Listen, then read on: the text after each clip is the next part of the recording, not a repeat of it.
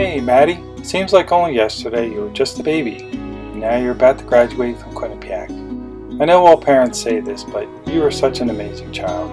You were so laid back, always happy with whatever was going on. Mom remembers back to one day when you were about three, and she asked you to please just stay the way you are and don't grow up.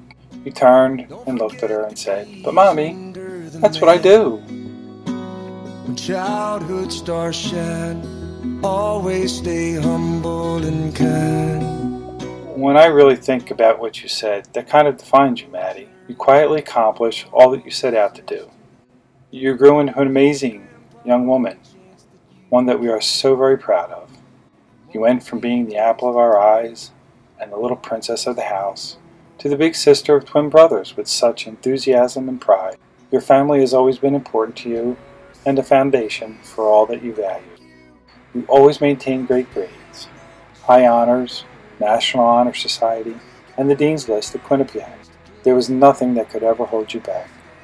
I kind of always thought you would be a soccer player, but maybe that's because I was your first coach. Even when faced with the loss of a teammate, you grew incredibly strong.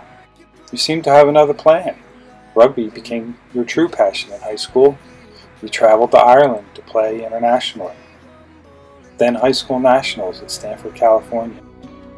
Back to back high school rugby state champs. At the end of your junior year of high school, Mom remembers your club soccer coach asking if you decided what you wanted to do about soccer and college. You replied, I think I'm going to play rugby. I didn't even know that rugby was a sport played at the college level. But once again, you just did what you do and quietly figured out how you were going to play rugby in college.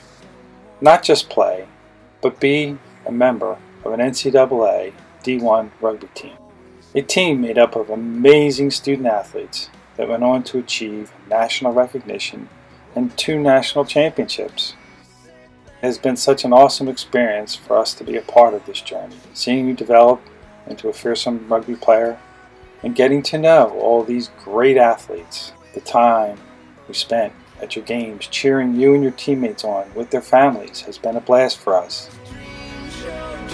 As you finish up at Quinnipiac, with the end of your college career near, thinking about the next chapter of your life leaves Mom and I wondering what the future holds for you.